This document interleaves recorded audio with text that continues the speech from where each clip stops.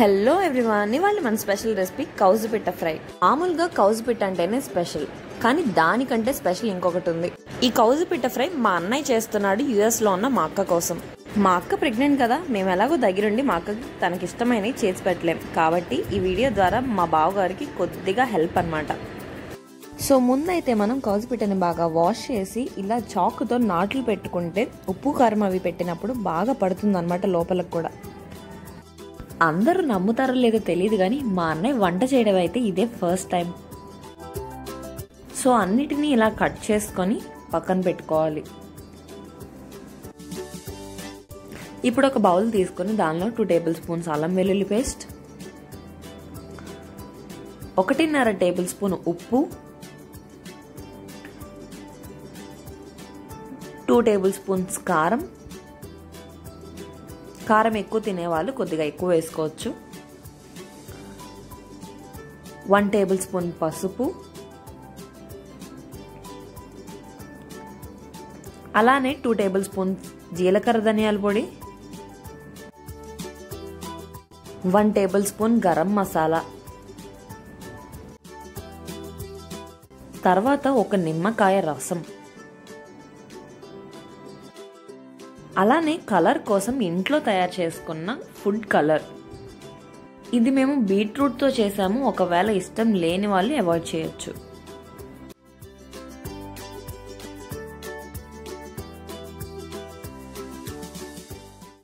తర్వాత two egg whites.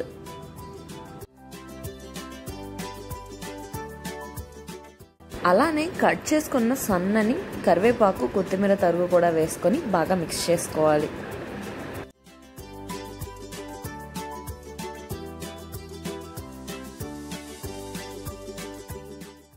ఈ విధంగా మిక్స్ చేసుకున్నాక దీనిలో టూ టేబుల్ స్పూన్స్ పెరుగు వేసుకోవాలి. పెరుగు వద్దు అనుకుంటే అవాయిడ్ చేయొచ్చు. జస్ట్ గట్టిగా ఉంది కదా అని కొద్దిగా పెరుగు వేసామంతే. ఇప్పుడు ఈ పెరుగును కూడా మొత్తం కలిసేలాగా బాగా మిక్స్ చేసేసుకోవాలి. ఇలా మిక్స్ చేసుకున్నాక ఇప్పుడు ఈ కౌసి పిట్టల్ని ఒక్కొక్కటిగా తీసుకొని ఈ మిక్చర్లో వేసి మసాలాలన్నీ బాగా పట్టేలాగా మొత్తం లోపల బయట కూడా మొత్తం పట్టేలాగా బాగా రాయాలి.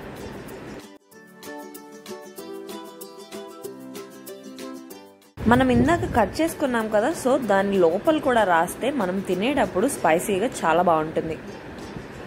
మనం దీనిలో ఏవి లేకపోయినా ఇంట్లో ఉన్న వాటితోనే అడ్జస్ట్ చేసేసుకోవచ్చు. ఖచ్చితంగా ఇవే కావాలి ఇన్నే వేయాలి అనేం లేదు. సో ఇలా రాసేసుకున్నాక వీటిని తీసి పక్కన ప్లేట్లో పెట్టుకోవాలి. వీటిని ఇలా మ్యారినేట్ చేసుకున్నాక ఒక గంట లేదా అరగంట అయినా ఇలా పక్కన పెట్టుకొని వదిలేస్తే ఈ స్పైసెస్ అన్నీ దీనికి బాగా పడతాయి అన్నమాట ఇప్పుడు స్టవ్ మీద ఒక గిన్నె పెట్టుకొని దానిలో డీప్ ఫ్రైకి సరిపడా అంత నూనె వేసుకోవాలి. నూనె బాగా వేడెక్కాలి. సో ఈ నూనె వేడెక్కాక దీనిలో మనం మ్యారినేట్ చేసి పక్కన పెట్టుకుని ఈ కౌజు పిట్టని వేసుకోవాలి. వేసాక ఒక పావు గంట నుంచి ఇరవై నిమిషాల వరకు మీడియం ఫ్లేమ్లో కుక్ చేసుకోవాలి.